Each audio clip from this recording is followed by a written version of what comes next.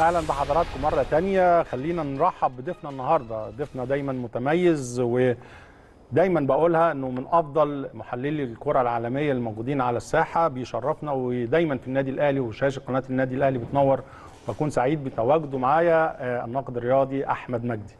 أبو حميد مساء الفل عليك. منور يا كابتن. ومع بدايات كأس العالم أيوة. آه، لازم نقول إن الكابتن هاني رمزي واحد من الأسماء اللي شرفت مصر في في المونديال وهو حضرتك الاكثر تمثيلا لمنتخب مصر في في كأس العالم من حيث عدد الدقائق على الإطلاق آه، بواقع آه، ال- الحصيلة الكاملة 270 دقيقة في بطولة والله 90 بص يا أحمد هو حاجة حاجة تفرحني وحاجة تزعلني في نفس الوقت لما يكون يعني بلد بحجم مصر ويمكن الأسماء قليلة جدا والأرقام اللي بيقولها أحمد إن يكون ده ريكورد إن في لعيب لعب ال 270 أو ال 360 ايا كان.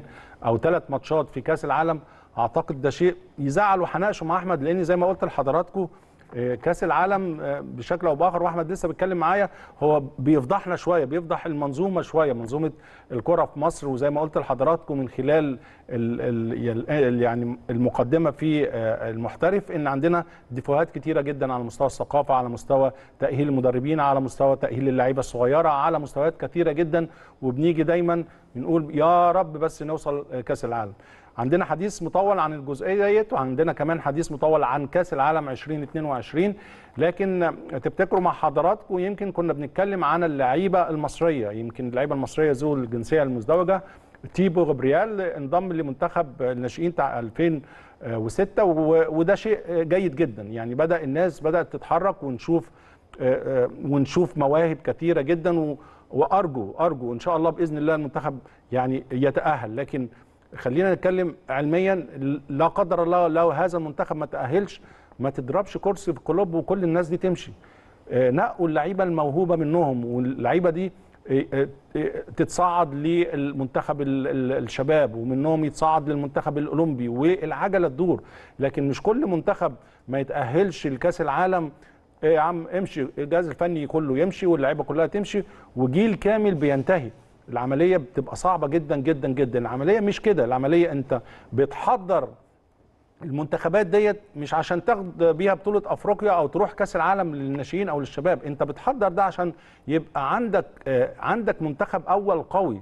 ودي ال- ال- المعادلة الصعبة اللي إحنا لغاية دلوقتي مش قادرين نحققها هنا في مصر إنك عندك منتخبات كل همها إنها توصل بطولة أفريقيا تاخد كأس أفريقيا آه، نوصل كأس عالم آه، تمام آه، طلع منها اتنين تلاتة يا الحمد لله. لو ما عملوش كده كل الناس دي بتمشي.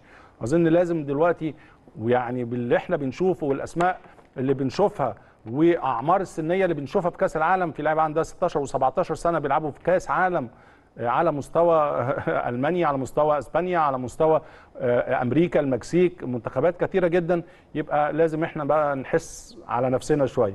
خلينا آه، من خلال المحترف نشوف كمان آه، تقرير عن لاعب مصري بيلعب في ألمانيا مزدوج الجنسية بيلعب في ألمانيا. نشوفه مع حضراتكم ونرجع مع نجمنا أحمد مجدي.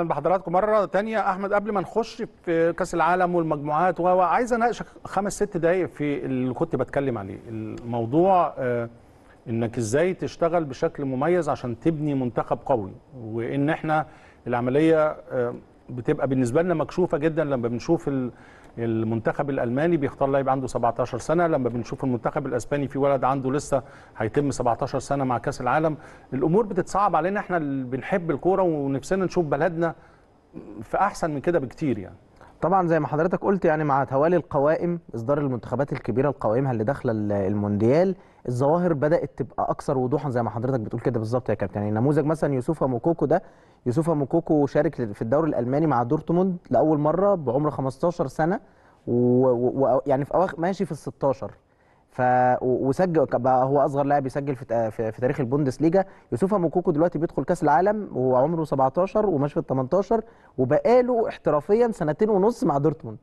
وده يعني يعني رقم يعني غير غير إنه رقم مرعب في أوروبا حتى أوروبا بيقولوا إنه ده بادئ صغير جدا بس مش ده اللي بقى يعني مش ده اللي بقى ال ال ال ال يعني مش ده الاستثناء دي القاعدة. بيدري طلع في عمر مشابه جافي طلع في عمر مشابه في منتخب إسبانيا ودلوقتي الاثنين في في 100% موجودين في ال- في ال- في المونديال.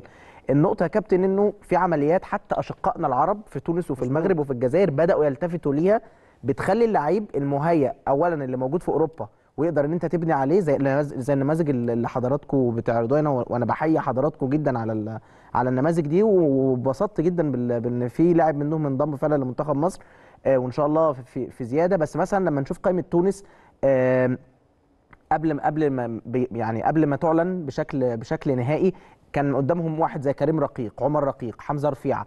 أكتر من 20 اسم مهيئين في أوروبا طالعين من بره تونس. 20 اسم. 20 اسم طالعين من بره تونس. والمدرب جلال القادري بي- بيفاو يعني بيختار ما بينهم. بيختار ما بينهم بيختار ما عنده بينهم. قاعدة وعنده data. بالظبط. اخ- اختار خمسة ستة منهم فقط لا غير. والباقي كله من العناصر اللي هو بي بي بيعتمد عليها اللي هي بالنسبة لنا إحنا بنسميها عناصر الخبرة. الاحتكاك ده مفيد للاعب الاحتكاك ده مهم للاعب. إحنا بنشوف مدارس زي إيطاليا مثلا يا كابتن في لعيب زي جنونتو مثلا طالع دلوقتي من من نجوم إيطاليا هداف إيطاليا السنة اللي فاتت كلها طالع بنفس الطريقة وجايبينه من الدوري السويسري على سبيل المثال. فهي دي النقط اللي بقول لحضرتك عليها يا كابتن. موكوكو آه وبيدري وجافي كل دي نماذج لظاهرة للأسف إحنا في مصر غير إن إحنا مش ملتفتين ليها.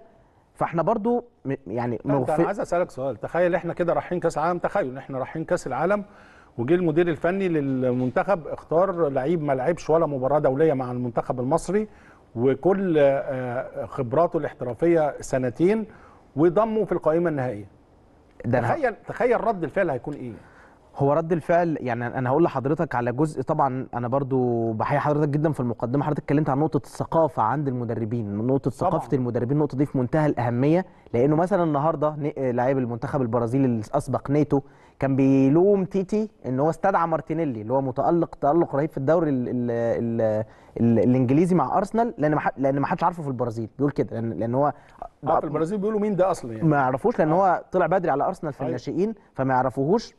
فكل ده يعني بغض النظر عن إن الطرح دوت مش طرح عقلاني أو مش طرح منطقي بس هو بي كان بينادي باستدعاء مين؟ كان بينادي باستدعاء جابي جول اللي هو عنده 35 أو 34 سنة ما أثبتش نجاح كبير في أوروبا. يعني هي دي الفكرة إنه في level ثقافة لازم يكون عند المدرب قبل ما يتك وده مش مش قصر على مصر بس. اللي في مصر ومحزن بعض الشيء إن إحنا عندنا قاعدة شعبية كبيرة بتمارس كرة القدم في سن صغيرة. النقطة دي مهمة جدا إحنا شعب كبير كبير كبير اطيافا يعني من حيث الأطياف شعب كبير من ناحية النسيج الاجتماعي كل الناس بتلعب كورة يعني مش زي البرازيل مثلا ال- الطبقة الأرستقراطية مش مهيئة قوي إنها تلعب كورة فتلاقي صحيح. المواهب كلها لا إحنا في البسطاء صح. إحنا كل الناس بتلعب كرة في سن صغيرة حاليا كمان في آخر عشر سنين بقت الأكاديميات بتاعت الأندية الأوروبية بتشوف مصر كبؤرة مواهب بالذات بعد صلاح بالذات بعد النني بالذات بعد النجوم الكبيرة. فإحنا عندنا قاعدة شعبية ونسيج اجتماعي كبير مهيئ إنه يلعب كورة. بس بنسأل سؤالين. السؤال الأولاني الشاب اللي بي... اللي بيتم اختياره من بين القاعدة الشعبية دي ويروح يلعب في أكاديميات الفرق بيبقى لعب كام ساعة؟ كام ساعة عمل لاعب احترافي قبل ما يبقى عنده 18 و19 سنة اللي هو دلوقتي بقى عمره متأخر للفريق الأول. يعني الناس اللي بيقول لك طبعاً. 19 سنة بيقول لك ده ده متأخر قوي إنه يطلع فريق أول دلوقتي. ما بيبقاش خد ساعات لعب احترافية. ف... ظهير أيمن السيتي ظهير أيسر السيتي أو أيمن لعيب اسمه ريكو لويس. جوارديولا بقاله سنة بيقول له أنت أنت معايا وفي قائمتي وفي كل حاجة بس أنت مش هتنزل ولا دقيقة. أنت هتتمرن مع الفريق الأول فقط لا غير. هحتاجك في, وق- في أوقات الفرقة تبقى كسبانة في 4 5 مهيئه لكده. هو مهيئه إنه فريكو لويس ده مثلا بي- بيتدرب دلوقتي قدام منه مع كايل ووكر. مع جواو كانسيلو الاثنين idols بالنسبة له بيشوفهم كل يوم في التمرين بيستدعي معاهم. هي دي النقطة يعني. هي الن- النقطة بتتكلم عليها كمان محتاجة هو ده ال vision. يعني دايما بنتكلم الناس دي بتبص لقدام. يعني هو جارديولا بيقول لك أنا الولد ده مش هستفيد منه غير في مباراة يعني مباراة سهلة. لكن أنا بحضره كمان سنتين ثلاثة بالظبط. فما اجيش بعد سنتين ثلاثة أقول لك يعني جابي عامل كام مباراة دولية لغاية دلوقتي؟ جافيس معد... صغير آه معدي أكتر من 15 ماتش تقريبا. 15 وغير مع منتخب ال لا لا لا ال under 21 ولا كده لا لا لا 50. ده لعيب عنده خبرة دولية كبيرة آه. معدي ال 50 فإحنا بندور إزاي ولد عنده 17 سنة 18 سنة يكون لاعب 50 مباراة دولية. إحنا ما عندناش ال- الظهير ال- الظهير ال- الأيسر اللي خده النهارده فليك في القايمة كوتشاب أرميل كوتشاب. أرميل كوتشاب ما عندوش ولا ماتش دولي. ولا ماتش ولا ماتش دولي والناس كلها وعنده 20 سنة بس وم- و- و- وزايح له من القايمة تماما. ما خدش جوسنس بتاع إنتر ميلان. 29 سنة وظهير أيسر منتخب ألمانيا الأول خلال آخر 3 4 سنين. ما خدوش. خد كوتشاب ده مكانه لأن ليه رصيد كبير بقى في منتخبات ألمانيا في الفئات السنيه الأدنى. فكوتشاب ده الناس بيقولوا آه ده back right ممتاز جدا و back left ممتاز جدا ويلعب بس إنه يستبعد له عنصر أساسي. طبعا دي كلها risks حتى في أوروبا بيتعاملوا معاها إنه برضه حاجات محل نقد أو محل تقييم بس الخطوات الجريئة دي بالذات في 2022 واضحة ما هو جدا لازم ما هو لازم. أنا يعني قبل ما نخش على ملف كأس العالم حتى على المستوى الشخصي أنا صادفت ده لما كنا بنشتغل مع أجيري واستدعينا محمد محمود واستدعينا طاهر ساعتها. حمدي و... وطاهر. وطاهر و... الناس بتقول لك هم دول بيعملوا إيه؟ وكان ساعتها يعني مش بلاد كمان صغيرين لا يعني وعشرينات 21 19 سنة 20 سنة. وبالتالي نقطة مهمة جدا ثقافة ال- المدير الفني ورؤية المدير الفني اللي بينعكس كتير جدا جدا جدا على سلبيات كتيرة عندنا في في الكورة. ومعلش برضو خلينا نحط كده تحت يعني تحت كلمة الطرح الإعلامي 300 آه خط طبعا الطرح طبعاً. الإعلامي اللي, اللي عايز يقولب معلش كل شيء في نقطة اللاعب الخبير اللاعب ال- المدرب اللي لازم يكسب دلوقتي وما يمشيش غير لو هو كسبان حالا المدرب لا المدرب المشروع الم- يعني عايزين نستبدل بالمصطلحات دي إن في مدرب يعمل مشروع لسنوات طويلة إن في لاعب لازم ي- ي- ياخد الزمام المبادرة من اللاعب اللي عنده 35 و36 و37 سنة. إن اللاعب الخبير ده مش دايما يكون مفيد في كل حاجة. موجوده موجود في التشكيلة مهم. وجوده يعني مهم في كل حاجة. بس دايما خلاص الكرة بقت بقت صناعة بدنية في المقام الأول دلوقتي. فاللاعب الناشئ ده اللاعب الناشئ ده عملة نادرة. أنت محتاج إن أنت لو ما عندوش خبرة ومش ناضج اتكلم اسأل نفسك بقى اسأل نفسك هو ليه مش ناضج؟ لما آه، أنا. مدرب ليه ده مش ناضج. الموهبة دي بقى. كلها الموهبة دي كلها أنا إزاي مش عارف أستغلها؟ إنما تقعد تستنى منه انضبط آه، التزم اعمل. لا دي مسؤولية المدرب دلوقتي. هو دلوقتي في عيون كتيرة قوي طلعته لك بسن 17 سنة. آه، خل... يعني مثلا آه، أنا معلش آه، النموذج. اللي حضرتك طرحته بتاع بتاع منتخب الناشئين الحالي أنا تذكرت منتخب تحت 21 اللي هو كان من 97 ل 99 أعتقد كان في مصطفى محمد ورمضان صبحي وكريم ندفد كان في مواهب يعني صح. رهيبة. خسر الثلاث ماتشات بتوع كاس بتاع كاس الأمم المعبد اتهد كله. الجيل ده نفسه هو ده خد كاس أفريقيا تحت 23 عالم تحت 23 سنة وراح أولمبياد. في الثلاث أربع سنين دول كان مقفول تماما على المنتخب ده مع الكابتن شوقي غريب أنا فاكر كويس جدا مقفول تماما عليه وبيعمل معسكراته في أماكن مختلفة. اللي أقصده ده منتخب ات ات ات يعني اتفرم لما خسر. خلال أربع سنين سبته يشتغل. نفس المنتخب ده خد لك أفريقيا وراح أولمبيكس. ال ال ال ال الناس اللي بتشتغل برضه أو المسؤولين هو بالنسبة له وده بينعكس على المدير الفني هو بالنسبة لي أنا المنتخب ده منتخب الشباب أو منتخب الناشئين آه، لو ما خدتش كأس أفريقيا آه، همشي. هتهاجم هتهاجم فهمش همشي. لا, ده هو هتهاجم آه. وهمشي. ولما وصلتش كأس عالم ده ما عندوش فكرة مدرب. فاشل. لكن فكرة إن هو لا يكون في target انت ال target بالنسبة لك إن اللعيبة ديت انت عندك منتخب لو طلعتنا من المنتخب ده كله ثلاثة من منتخب الناشئين ثلاثة ومنتخب الشباب نطلع منهم خمسة والمنتخب الأولمبي نطلع منهم سبعة أنا عندي 10 15 لعيب ينفع يلعبوا تحت منتخب أول السن مش هقول تحت السن من من عمر 16 سنة لعمر 19 20 سنة يكونوا موجودين في الفريق الأول صح. فبالأولوية أوتوماتيك هيبقى معدل آه، معدل أعمار المنتخب المصري في كل السنوات هيبقى 26 سنة غير عملية الاحتراف غير المحترفين في الخارج لأن بالظبط. كمان دي نقطة مهمة جدا هتكلم معاك في الملف ده مجدي بس عايزين نعمل حلقة كاملة عليه إزاي. نشتغل على موضوع إن إحنا نطور شوية نواه. من منظومة الكرة المصرية خلينا نتكلم على كأس العالم وانت شايف كأس العالم اللي جاي إزاي 2022 في حاجات كتيرة جدا جدا مميزة فيه توقيته مميز المنتخبات اللي وصلت طموحاتها إيه؟ أنت طموحك كمشاهد وكناقد رياضي عايز تشوف إيه في كأس العالم اللي جاي. يعني أنا من السؤال الأولاني إزاي شايف كأس العالم ده؟ أنا شايفه كأس عالم آه، آه، بغض النظر عن كل المشاكل اللي أحاطت بيه سواء في توقيته في نص الموسم أو في في في في, في, في آلياته الإدارية أو إنه بيتقام في الشتاء أو إن الموسم هيقف في, في, في أوروبا أو كل الانتقادات المصاحبة للملف القطري واللي بدأت من 2010 أو كل شيء. أنا شايف إنها تبقى نسخة جيدة لمشاهدة كرة قدم نظيفة بيور لأنه يعني آه ك- آه، عدم استعداد المنتخبات الاوروبية بوضوح أو يعني اللي خلى اللي خلى منتخبات اوروبا تفرق الفرق ال- الرهيب عن كل منتخبات العالم في السنوات اللي فاتت هو ان كل شيء يعني كأنه مكن كأنه مكن آه، بيتعامل. هنقف في نص الموسم هيعمل فترة إعداد أكيد في المعركة دي اللي هيكسبها الأوروبيين ولكن لما توقف الأوروبيين قبل كأس العالم ب 10 أيام بس أو بخمس أيام أو بست أيام الدوري الإنجليزي هتتلعب فيه جولة 12 و13 نوفمبر يعني قبل أسبوع بس من المونديال ممكن يبقى فيها إصابات ممكن السفر نفسه ياخد يومين ثلاثة فأوروبا ما خدتش الاستع... كل منتخبات أوروبا ما خدتش الاستعداد الكافي إنها تروح المونديال. آه وغير إن في كتير من منتخبات أوروبا بيعاني من مشاكل كبيرة جدا جوه. أوض اللبس زي فرنسا وإنجلترا. فأنا متخيل إن دلوقتي كفة الحظوظ متساوية على مستوى الألقاب بين أوروبا وبين أمريكا اللاتينية. أمريكا اللاتينية إحنا بنتكلم على ثلاث منتخبات برازيل وأرجنتين وأوروجواي. أنا متخيل إن عندهم فرص كويسة جدا السنة دي إن هم يلعبوا مونديال كويس لأن ال- الأمور بقت ليها علاقة بال, بال... بال... بكواليتي اللعيب وبالمهاره وبالروح اللي هتخليك عايز توصل لأبعد نقطة في المونديال. النقطة الثانية بتوفر مزايا كتيرة جدا لمنتخبات قارة آسيا وقارة أفريقيا والمنتخبات العربية اللي بدأت الاستعداد بالفعل من شهور. السعودية بقى لها دلوقتي شهر ونص في معسكر معسكر صحيح. مقفول. لسه النهارده عندهم لسه ماتش مع بنما تعادلوا فيه واحد واحد. قرب المسافة قرب الأجواء كثرة الجماهير هتخلي فيه أكيد منتخب عربي أو إفريقي مرشح إن هو يذهب مش بعيدا بس يبدي صورة أفضل حاجة معاك في المونديال. للمجموعات وأنا شايف إن على الورق إن المنتخبات العربية عندها صعوبة جدا جدا في الصعود حتى للدور الثاني من خلال رؤيتنا من خلال المجموعات الموجودة فيها قد يكون زي انت ما بتقول عامل الجماهير عامل التحضير وده مهم جدا.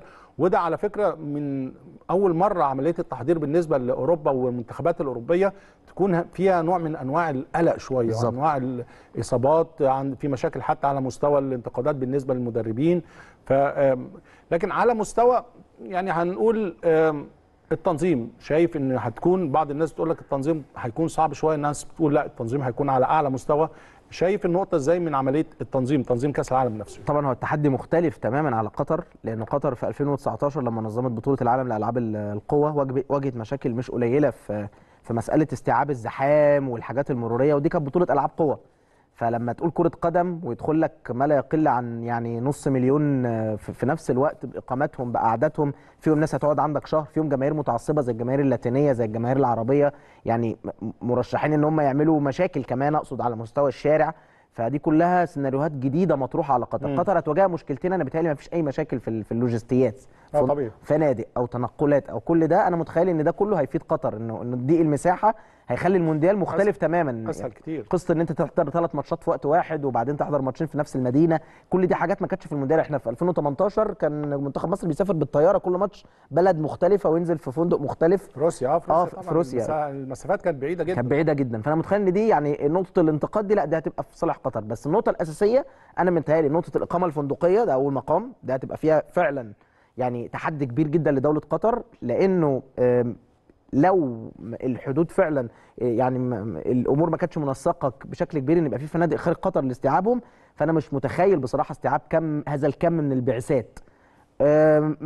بقول إن ده أكبر تحدي بس ما بقولش إنه هيفشل يعني بقول إن ده أكبر تحدي حقيقي. يعني لأنه دولة عربية وبنتمنى طبعا نجاح المونديال بشكل بالظبط. بشكل كبير إن شاء الله. تاني حاجة لو يعني لا قدر الله في يعني تحدي أمني صارخ أو حاجة إن شاء الله يعني يعني ما يبقاش في حاجة شبه كده بس أقصد إن ده سيناريوهات غير يعني غير مسبوقة على منطقة الخليج العربي بشكل عام. يعني إحنا إن شاء الله بإذن الله بإذن كل الله. التمني إن شاء الله إنها تكون بطولة عالمية على مستوى عالمي كأس العالم في قطر 2022 إن شاء الله تكون من أفضل النسخ على مستوى كأس العالم. اتكلمنا عن التنظيم اتكلمنا عن آه، يعني التحضير بالنسبة لل- للمنتخبات الأوروبية. هنتكلم عن النواحي الفنية مع نجمنا أحمد مجدي بعد الفاصل. أهلا بحضراتكم مرة تانية. أحمد آه، محضرين تقرير خاص بكأس العالم آه، قطر 2022 هنشوفه بعد تجاوب لي على السؤال. في كل كأس عالم بيكون في آه، نواحي فنية أو خطة بشكل أو بآخر لمنتخبات بتكون جديدة وبتكون سائدة لمنتخبات كثيره تتوقع تتوقع ده يحصل في كأس العالم اللي جاي يكون في شكل فني مختلف؟ أنا أتوقع بس يعني مش مش خطط يعني ممكن الخطط دلوقتي قتلت بحثا زي ما بيقولوا بالنسبة لكل المدربين بس أنا متخيل إن في يعني اعتماد بشكل ما على على على يعني تحولات معينة جمل معينة عناصر فردية صغيرة في السن زي ما حضرتك بتقول معينة. فأنا متخيل إن لأ على الصعيد الهجومي هتبقى المعارك بدنية عالية جدا لأنه ال- السن صغير. آه، صحيح. ما اتمناش بقى ده يروح لميسي يعني علشان يعني أتمنى بعيد عن ميسي شوية آه بعيد عن ميسي آه. الموضوع ده يعني أو أو الجماعة بتوع الأرجنتين يساعدوه في المسألة البدنية دي بس أقصد إنه يعني أنا حاسس إنه اللي هيكمل اللي هيكمل فت يعني عناصره كلها تكمل فت وما تتصابش لمدد بعيدة بعد الدور الأول هيبقى ليه الحظوة الأكبر في المونديال عشان كده برشح إن البطولة دي تكون لاتينية يعني. أنا متخيل إن البطولة دي ليها بطل لاتيني. خلاص أحمد مجدي البطولة لاتينية. أنا يعني عندي اختلاف شوية ممكن تكون على مستوى الأوروبي لكن خلينا الأول آه، نروح للسكايب. معانا سكايب دلوقتي؟ طيب على مستوى زي ما اتكلم مع حضراتكم على مستوى الولاد الصغيرين. عبر زوم عبر زوم هيكون معانا واحد من اللي أدى التجربة اللي كنا لسه بنتكلم عليها. يعني بيتكلم على جافي بنتكلم على أنسو فاتي بنتكلم على لعيبة صغيرة آه، في السن. فاللي مرنهم آه، مرنهم في برشلونة طبعا. معانا دلوقتي عبر آه، طبعا آه، ودرب جافي وبدري آه، من خلال وجوده في برشلونة آه، المدير الفني السابق ديفيد آه، بديع. ديفيد بديع. آه، بنرحب بيك على شاشة قناة النادي الأهلي. ديفيد Thank you very much. It's a pleasure for me also شكرا to be, جزيلا أنا. من بالغ سروري أن أتواجد معكم على قناة النادي الأهلي إحنا الحقيقة سعداء إنك بتتواجد معانا في الوقت المناسب لأن إحنا كنا بنتكلم على آه، شكل مهم جدا جدا للمنتخب الأسباني وبنتكلم بشكل خاص على اللعيبة الأعمار السنية ما بين 17 و19 سنة اللي بتمثل قوة كبيرة على مستوى منتخبات كثيرة. آه، أنت شايف الموضوع إزاي بدأ إزاي في أسبانيا وخاصة في برشلونة. كيف يؤهل اللعيب بهذا الشكل؟ بنتكلم على على جافي على بدري. آه، إيه المصنع اللي بتشتغلوا عليه عشان تطلعوا آه، هذا اللاعب بهذا الشكل الفني والبدني؟ Uh, the هذا هذا صحيح. ان أن بطولة العالم بطولة العالم ال- القادمة ستكون صعبة. يجب أن يكون لديك لا- لديك لاعبين لديهم شخصية قوية وخبرات. ولكن ولكن الآن لديك أيضا لاعبين شباب يشاركون في برشلونة وريال مدريد وغيرها من الأندية الإسبانية ولديهم الطموح ليتالق لديهم الطموح ليتألقوا في كأس العالم. التألق في كأس العالم أكيد آه، موضوع مش سهل. موضوع محتاج محتاج رؤية واضحة للمدير الفني لكل منتخب. وهنيجي على لويس إنريكا المدير الفني للمنتخب الأسباني. أنت طبعا اشتغلت في أسبانيا وكان ليك تجارب كثيرة جدا في برشلونة وكمان خبرات على مستوى المدير الفني في أحد الأندية في تركيا. خبرات تدريبية كبيرة جدا جدا. أنت من خلال رؤيتك شايف إلى أي مدى يستطيع آه، المنتخب الأسباني الوصول لأبعد نقطة في المونديال Well, I think Spain is حسنا أعتقد أن إسبانيا الآن لديها. لديها لديها فريق جيد وتؤدي وتؤدي بشكل طيب على مستوى المنتخب. آه، ربما ربما تواجه بعض الصعوبات أن تحكم على منتخب بلدك ولكن بالنسبة لمنتخب أسبانيا لدينا لدينا فريق جيد على المعدل على المستوى البدني لدينا فريق شاب لدينا فريق ينافس على ينافس يستطيع المنافسة على البطولات الأوروبية على مستوى الأندية والمستوى المنتخب. أعتقد أن مستوى منتخب أسبانيا الآن مميز جدا. أنا آمل ان ان أن ارى أن أرى منتخب إسبانيا في مصاف الدول المع- الفائزة بكاس العالم في السنين القادمة. دايما بنتكلم إن الدوري المحلي لازم يكون دوري قوي جدا بيفرز لعيبة دولية على مستوى عالي والقائمه قائمة المنتخب الإسباني بتضم يمكن سبعة بس خارج إطار ال- الدوري الإسباني. هل أنت شايف ده دليل على قوة الدوري الأسباني أو دليل على آه، يعني الشغل بالنسبة للمدربين في الدوري الأسباني مطلعين عدد كبير جدا بيمثل المنتخب الأسباني Yes, of course. I think, نعم نعم بالطبع هذا دليل على أن على العمل الجاد منذ منذ سنوات الاتحاد الإنج- الإسباني وال- وطاقم العمل بالنسبة للمدربين. وهذا انتج وهذا أنتج لاعبين مميزين. وهذا عم وهذا أمر هذا أمر طبيعي. إذا إذا كنت إذا كنت افضل أفضل دوري في العالم الليغا فبالطبع ففي رأيي سيكون هذا ستكون هذه نتيجة طبيعية. ان أن تخرج لنا أن تخرج لنا الليغا لاعبين مميزين ل- للمنتخب الوطني الإسباني. آه، في في نفس الوقت لدينا لدينا لاعبين لدينا لاعبين كما ذكرت يلعبون في إسبانيا ويؤدون بشكل جيد في أقوى دوري. وكذلك اللاعبين الذين ذكرت الذين يلعبون خارج اسبان خارج إسبانيا قد صنعوا بالفعل خليط جيد للمنتخب الإسباني. ما فيش شك طبعا المنتخب أو الدوري الأسباني من الدوريات القوية لكن طبعا أكيد يسبقه شوية المنت... ال- الدوري الإنجليزي لكن على مستوى الإدارة الفنية. ديل بوسكي طبعا آه، مدير فني المنتخب الأسباني الأسبق آه، تاريخ كبير جدا جدا وعايز مش هقول مقارنة ولكن أنت شايف آه، وجود لويس إنريكي على رأس القائمة الفنية للإدارة الفنية للمنتخب إيه إيه إيه الفرق ما بين منتخب آه، ديل بوسك الحائز على كأس العالم ومنتخب أسبانيا اللي هيشارك مع لويس إنريكا في 2022 بالطبع. بالطبع فيسنتي ديل بوسكي maybe مدرب مدير فني تاريخي رائع و... ولويس إنريكي كذلك مدير فني كبير. ولكن المستوى الذي وصل له ديل بوسكي كان مستوى كبير مع اللاعبين. حاول هو دوما يحاول أن يصل لأقصى لأقصى مستوى عند اللاعب ويحفز اللاعب على على أفضل شكل. فبالتالي فبالتالي أخرج المنتخب الإسباني لنا صورة جيدة صورة رائعة مع فيسنتي ديل بوسكي وخصوصا على مستوى البطولات كبطولة كأس العالم يجب عليك يجب عليك أن يكون يجب أن يكون لديك مستوى 100% من مستوى اللاعب للأداء في هذه البطولات. على مستوى الجماهير على مستوى ال- ال social media على مستوى الصحافة هناك في أسبانيا توقعاتهم إيه؟ مدى وصول المنتخب الأسباني للأدوار متقدمة؟ هل في تفاؤل بالنسبة لمنتخب لويس إنريكا للوصول لأبعد نقطة أم الأمور قد تكون صعبة للمنتخب be بالطبع الأمر صعب. والأمر صعب على الجميع لي- ليتصور أو يتوقع. أعتقد أعتقد أن أن بالرغم أني ذكرت أننا لدينا واحدة من أقوى الدوريات في العالم ولكن يظل الأمر يظل الأمر مختلفا في كأس العالم. And أن الجماهير تطالب country, أن أن نفوز بكأس العالم وتتمنى الفوز players, و- و-.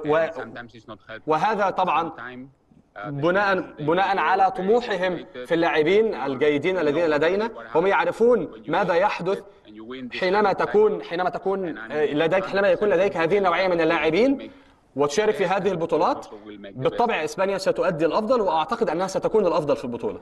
طيب على على ده على مستوى الجماهير وعلى مستوى يعني الصحافة. بالنسبة لك أنت ديفيد توقعاتك أنت للمنتخب الأسباني إيه؟ دي نمرة واحد. والجزء الثاني هل تتوقع آه، فوز أحد منتخبات أوروبا أم أمريكا اللاتينية؟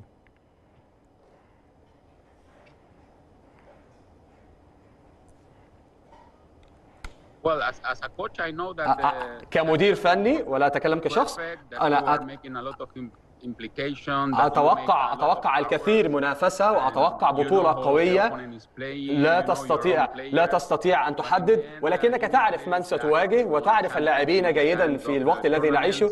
فبعض ال- بعض بعض بعض البطولات يكون الأمر صعبا ولكن الآن الأمر يعتمد على الهدف والهدفين والحصول على نقطة ربما تصعد بك للدور المقبل ربما في ضربات الجزاء ولكن أعتقد أن الأمر صعب. بالطبع بالطبع الفائز هو من سيؤدي الأفضل. أتمنى أن يكون إسبانيا. وأتمنى الحظ لإسبانيا وأتوقع ان أن تفوز وتؤدي بطولة مميزة. ده على مستوى أوروبا وأمريكا اللاتينية كمان لازم.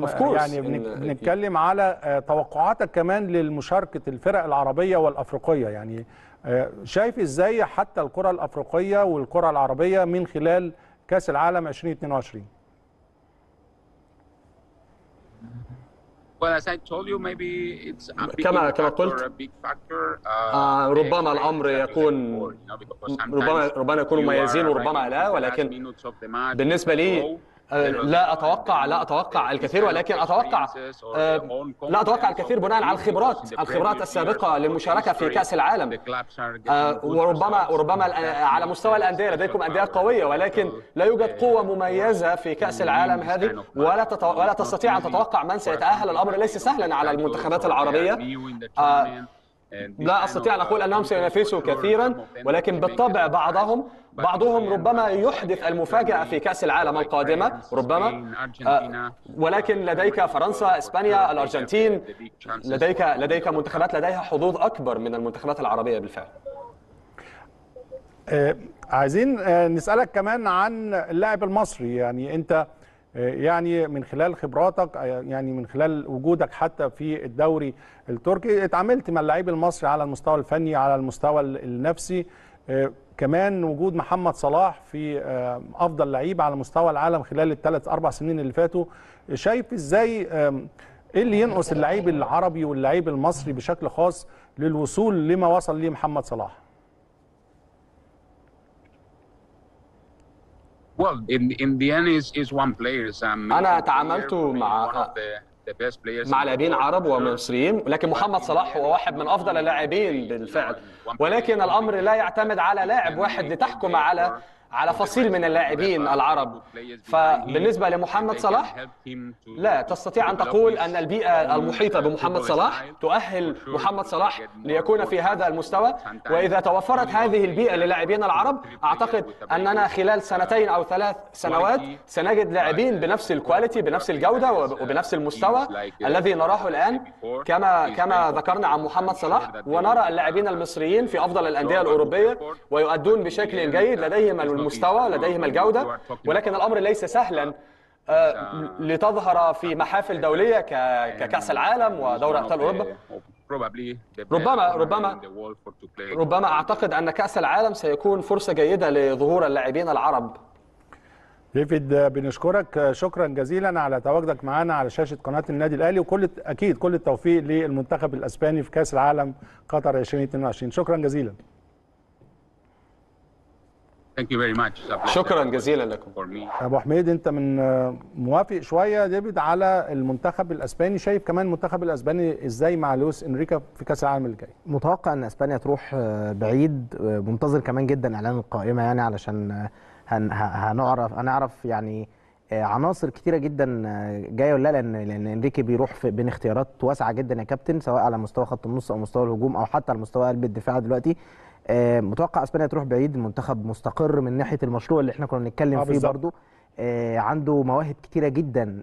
تحت إيد بتعرف تقيم المواهب وما عندوش المشكلة لويس إنريكي إن هو آه، يدي الفرصة في أوقات كتيرة للمواهب ديت إنها تبرز. متخيل إن بيدري هيعمل كأس عالم كبير جدا. متخيل إن بيدري هيكتب شهادة ميلاده بقى كواحد من من من أساطير كرة القدم في المونديال ده. وانت تتوقع مين هيكون النجم؟ لأن آه. في كل كاس عالم بيبقى فيه نجم بارز بالظبط. ونجم ال- المونديال لكن كمان على مستوى الإحصائيات كمان محضر لنا فريق الإعداد مشكورا يعني أكتر الدوريات الأوروبية يعني لاعبين المشاركين في كأس العالم هيكون مين؟ كمان أكتر الأندية آه، حصولا أو يعني عندها لعيبة هتلعب في كأس العالم مين؟ هنشوف ده من خلال آه، التقرير اللي جاي أهلا بحضراتكم مرة تانية. أحمد وإحنا بنشوف التقرير بكلمك بنقول كان نفسنا نكون موجودين. يعني آه. منتخب مصر كلنا ك يعني كمصريين اولا وبنحب الكورة كنا نتمنى منتخب مصر. وأنت بتقول لي لو منتخب مصر كان موجود هناك كنا ممكن نعمل حاجة كويسة غير 2018 أنا متخيل إن ده طبعا يعني بتتكلم في جالية مصرية تتجاوز ال 2 مليون واحد في الدوحة في قطر يعني بشكل عام. آه، أجواء جماهيرية كانت هتبقى في صالحك. قرعة كانت في المتناول. يعني يعني يعني إحنا كل مرة نقع في منتخب صعب أو منتخب معقد أو المرة اللي فاتت كانت روسيا عشان مضيفه اوروجواي منتخب بعيد المنال عنا بالنسبة لي يعني ومنتخب شقيق السعودية. آه كانت القرعة بالنسبة لنا ساعتها في المتناول بس قلنا برضو إن الم- المجموعة كانت معقدة. أنا متهيألي المجموعة اللي إحنا كنا مرشحين نقع فيها كنا تخطينا السنغال لا كانت هتبقى مجموعة فعلا في المتناول. ماتش ماتش قطر دوت كان ممكن تبقى أنت جماهيريا قده يعني ممكن تبقى أنت جماهيريا أكتر منه في الملعب. ويبقى جمهورك أكبر منه في الملعب وشفنا دوت في ماتش كأس كأس العرب في الثالث. في الثالث والرابع كنا أكتر من ال... كان الجمهور المصري أكتر من الجمهور القطري في الملعب ماتش الإكوادور أنا متخيل إن هو كان يبقى في المتناول وتبقى لك هولندا دي يعني تتعادل معاها تتغلب منها بس كان أعتقد إن إحنا كنا ممكن نطلع على الدور الأول يعني. بنسبة أكبر من المونديالات الثانية يعني. طيب نمسك مجموعة مجموعة وأنت خلاص يعني بنتكلم على المجموعة المجموعة الأولى بتضم طبعا قطر الإكوادور السنغال وهولندا متزنة ما يعني المجموعة ديت على الورق على الورق المنتخب الهولندي ضامن الصعود. هل في مفاجآت ممكن تحصل في المجموعة ديت؟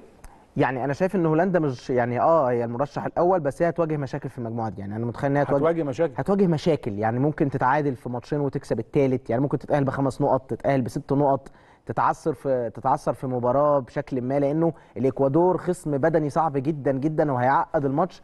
وبغض النظر إن يعني الملاعب القطرية ملاعب ممتازة جدا بس مش بتوفر ل ل ل ل ل ل يعني عنصر المساحة الشاسعة اللي تبين قدرات اللاعب الأوروبي على اللاعب اللاتيني فيقدر اللاعب اللاتيني يعمل عليك ماتش بدني كبير.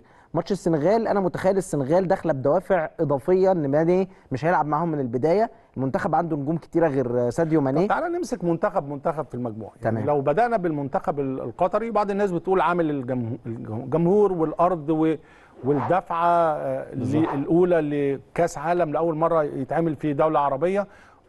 آه، ممكن تعوض ال- الناحية الفنية ولكن مش للمدى الطويل. هل قطر قادره على الصعود للدور الثاني من خلال مجموعة بتضم الإكوادور السنغال وهولندا؟ هي هي مش بعيدة دلوقتي يعني إحنا خلينا نتكلم إن ده منتخب بطل آسيا.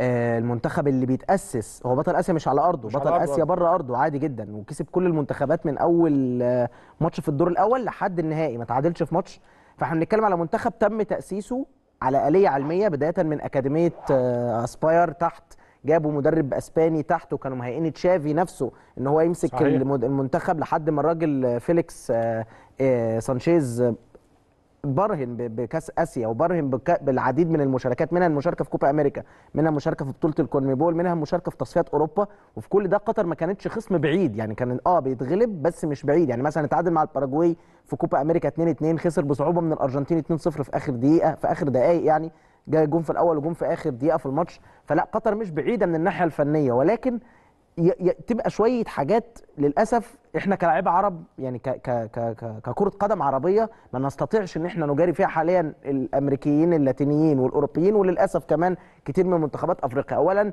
ال ال يعني الاستامينا البدنية ال 90 دقيقة النقطة دي. بتبقى عامل فاصل في المونديال. أنت بتلعب عدد ماتشات كبير في وقت قليل.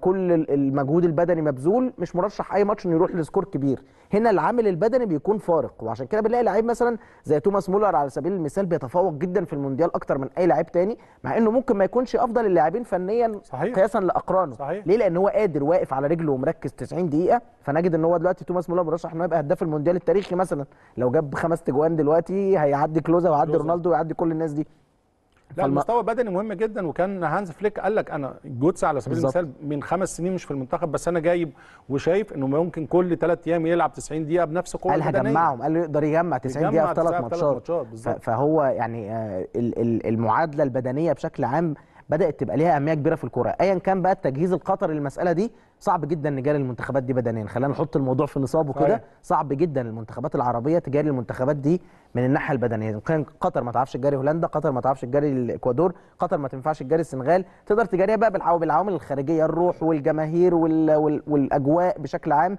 والاستعداد. ممكن قطر أكبر منتخب عنده دوافع للبطولة دي لأنه بيتهيأ لها من سنة 2010 من سنة 2010 عايزين بيجنسوا عايزين منتخب قطري قوي. حتى اللاعب القطري الكواليتي بتاعته ارتفعت فبنلاقي عندنا لعيب زي حسن الهيدوس من من قائد منتخب قطر واحد من أفضل اللاعبين في آسيا. قبل كده كان في وليد جاسم خلفان إبراهيم خلفان خد أحسن لاعب في آسيا. كل دي آه، عوامل تخلي منتخب قطر آه مش منافس من عشان ما طموحاتنا ما تروحش بعيد بس مش بعيد قوي عن منتخبات المجموعة. دايما على مستوى المنتخبات يعني خلينا نتكلم دايما الجزء الهجومي بيبقى جيد إلى حد ما ولكن تبقى المشكلة في الخط الدفاعي وعلى مستوى حراس المرمى على مستوى المدافعين. هل منتخب قطر عنده البالانس دوت؟ عنده عنده نواحي دفاعية قادرة إنها تصمد وعنده نواحي هجومية قادرة إنها تسجل في المونديال خاصة في في في الدور الأول؟ يعني هو آه، منت- خط دفاع منتخب قطر بالكامل مجنس يعني مجنس. بالكامل مجنس. إحنا بنتكلم بس بنتكلم على عبد الكريم حسن أفضل back left في آسيا وخد أفضل لاعب في آسيا. بنتكلم على بيدرو آه، في ال- في الظهير الأيمن. بنتكلم على خوخي أبو علام وبسام الراوي واحد من أصول جزائرية وواحد من أصول قطرية. كل دي أسماء أثبتت إنها متفوقة على الجانب الآسيوي سواء على مستوى الأندية أو على مستوى ال- ال- المنتخبات. عملت بطولة كأس آسيا مثالية في في 2019 ال- التحدي ال level مختلف وحضرتك أكتر حد أكيد. تقدر تقول لنا على الكلام ده لأن حضرتك جيت من لعبت كأس عالم وكنت حضرتك ساعتها محلي يعني موجود في ال... بس لما حضرتك رحت الاحتراف شفت ال level شفت ال level المختلف. فلما أنت كنت حضرتك مثلا تلعب على فان باستن عشان كنت عايز أسألك عن النقطة دي فان باستن ولينيكر والناس دي آه، حضرتك توجه يعني حسيت بفرق إزاي في التعامل معاهم كلاعب؟ هو آه، بص كان ال- الموضوع الموضوع كان نفسيا كان في قلق واضح جدا وخاصة قبل المباراة. لكن آه، العملية بعد 10 دقائق ربع ساعة الواحد أنا كنت قلقان ليه؟ يعني أنت قادر طالما لاعب عادي أقدر آه، ألعب يعني عليها. أنت مركز الفروقات مش كبيرة قوي للدرجة دي لدرجة إن أنت آه في فروقات وفروقات على مستوى عالي جدا. قد يكون حتى المنتخب الهولندي كان مستضعفنا أو مش عامل بالظبط. حساباته بشكل كويس المنتخب المصري فكان بيلعب على قد المباراة.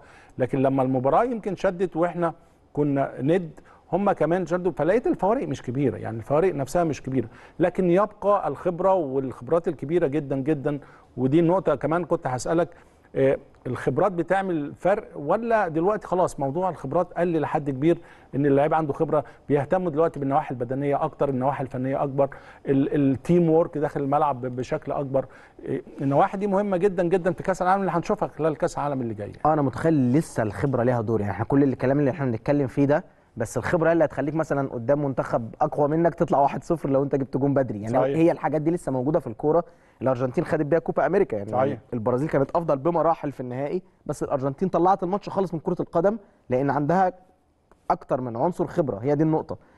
ده لسه موجود في الكورة واللي يقول لك إن ده مس... يعني اللي يقول إن ده هينتهي من الكورة صعب جدا لأنه لأنه ده ضد القوانين الطبيعة بشكل عام صحيح. حد بيمارس الشيء أطول من فلان التاني فلان التاني هيبقى محتاج جهد كبير عشان يوصل لنفس مستواه. بس في مدرب بقى ممارس وشايف أكتر وعنده خبرة أكتر من الاثنين فيعرف زي ما اتكلمنا مثلا على نموذج موكوكو على سبيل المثال يعرف ينزله في وقت إيه من الماتش. موكوكو ده يعمل تأثير. موكوكو يلعب على الحتة إنه فريش وسريع ونشط وتعرضه للإصابة أقل لأنه بحكم إنه شاب عنده صحيح. 17 أو 18 سنة.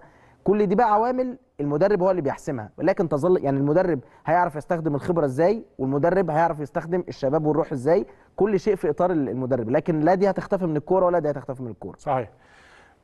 هنشوف يعني هنطلع فاصل سريع كمان عشان نشوف السنغال. يمكن بعض المصادر في ألمانيا بيقولوا إن يمكن ساديو ماني هيغيب عن المباراة الأولى أو الثانية في آه، المونديال مع المنتخب السنغالي. بعض التقارير بتقول إن هو هو كده كده هيسافر ولكن قد يلحق بالمباراة الأولى. هنشوف كمان آه، حظوظ السنغال إيه في هذه المجموعة اللي تضم الإكوادور وقطر ومعاها المنتخب الهولندي بعد الفاصل.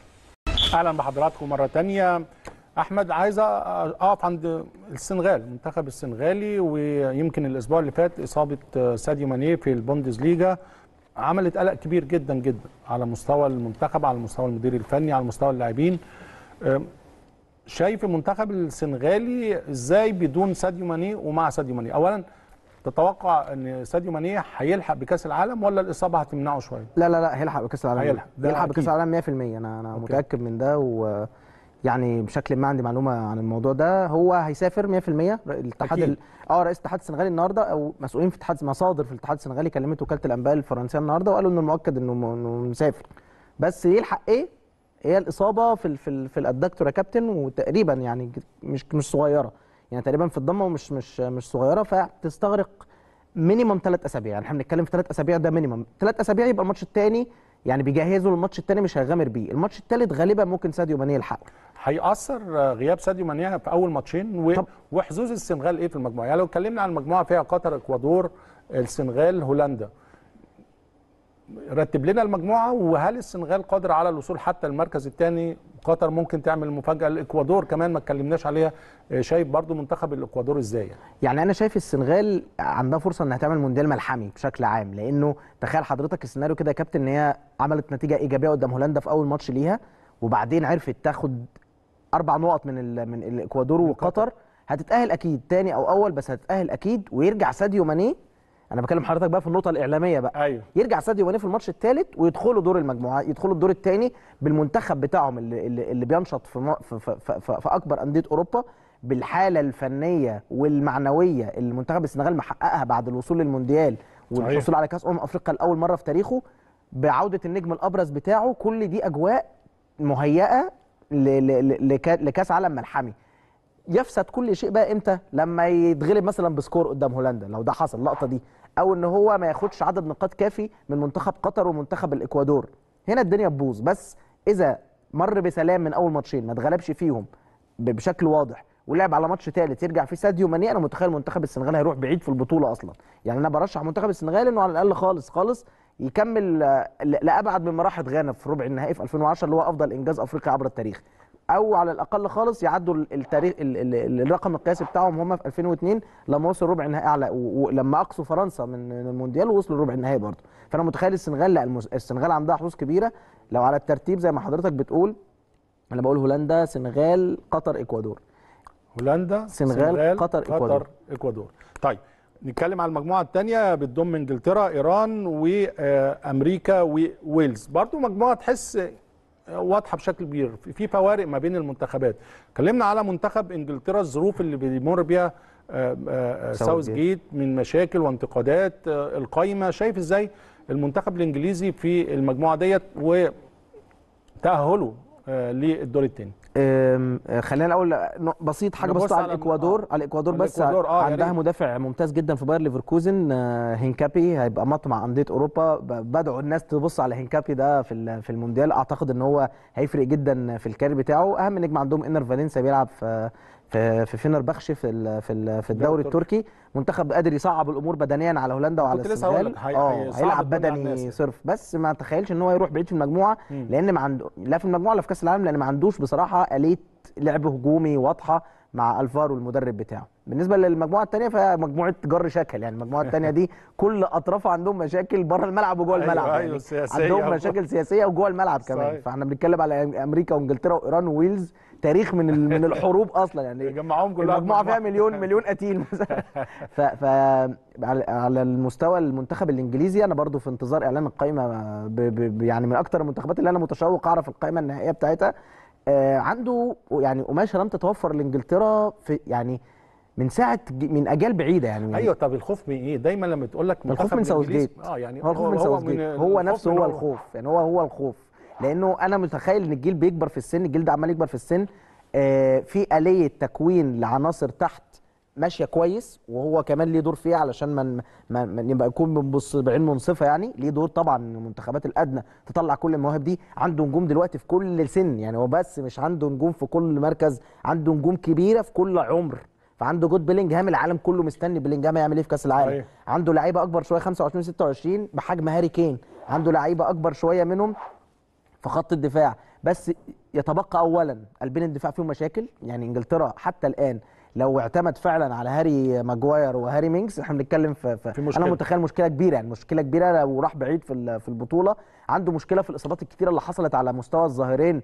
وأنا مستني أشوف موقف كايل ووكر هيلحق ولا لأ. أرنولد مش داخل البطولة بأفضل شكل ممكن. صحيح. بن تشيلويل اتصاب خلاص والاعتماد 100% هيبقى على لوك شو. فأنا متخيل رباعي خط الدفاع في مشاكل بالنسبة لمنتخب إنجلترا. متخيل إن برضو أزمة ساوثجيت في التحفظ المبالغ؟ هيعدي من المجموعة 100% هيعدي من المجموعة دي.